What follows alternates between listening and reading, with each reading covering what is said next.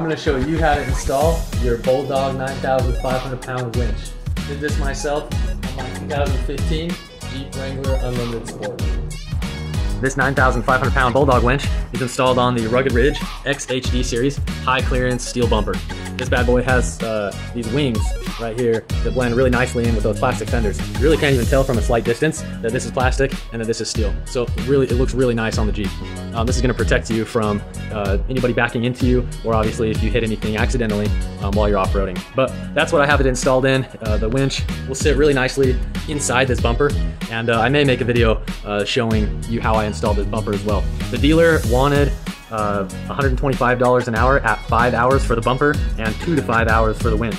So that adds up to almost $1,000 um, to install these pieces of equipment. And I did them all right here in my garage. So hopefully this video will be informative and help you save that money for yourself as well and uh, at a high quality so that you can go off-roading uh, with these awesome instruments.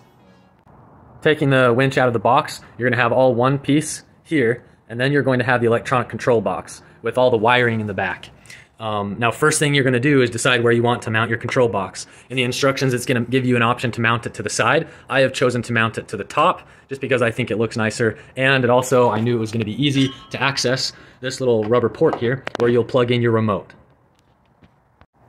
To mount your electronic control box, you'll find these two metal black tabs and screws. There's one here with a screw, and there's one right here.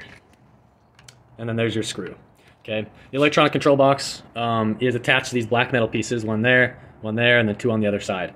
Those slip into these tracks, one on the front and a track on the back.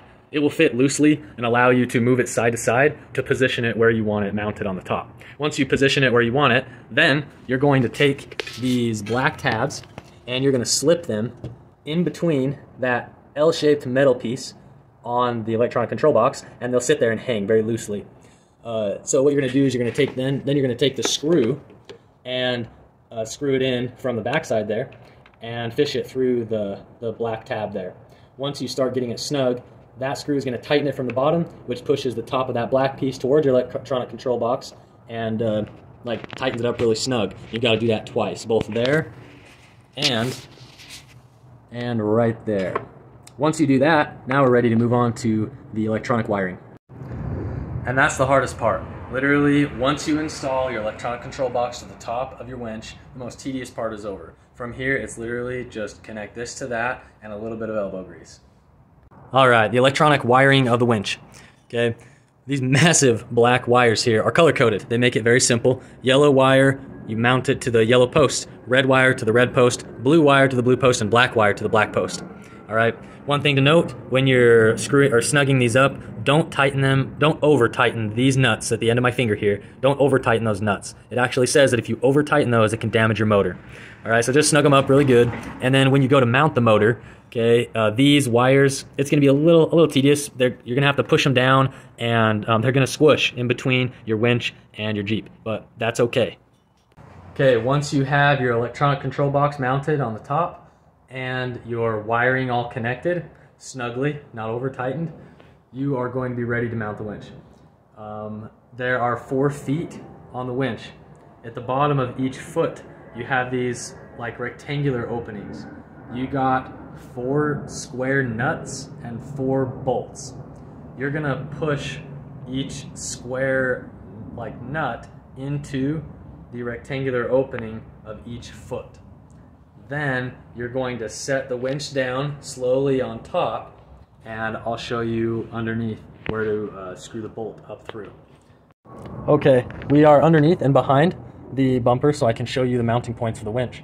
At the bottom of each foot, there was that square nut and all you have to do is fish the bolt up through the nut and start screwing, it, tightening it. It will catch the nut and because the nut is square, it won't turn, which will allow you to screw the, uh, the bolt up into the winch and snug that baby down against your bumper. So you have one here, one back there, and then as we look over here, we have that one there and that one there. So four bolts, four bolts snug this winch up to your bumper.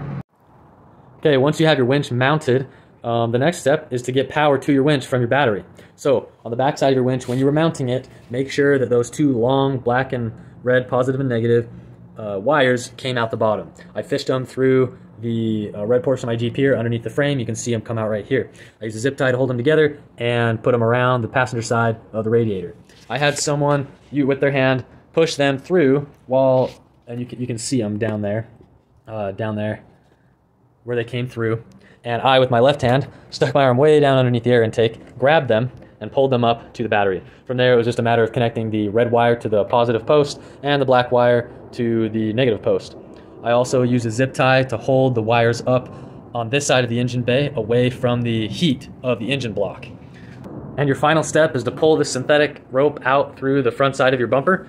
Um, it'll stop right here, and you'll have this massive hook, a D-ring, a spacer, where my thumb is right here, and a metal, a small metal dowel, and this red ribbon.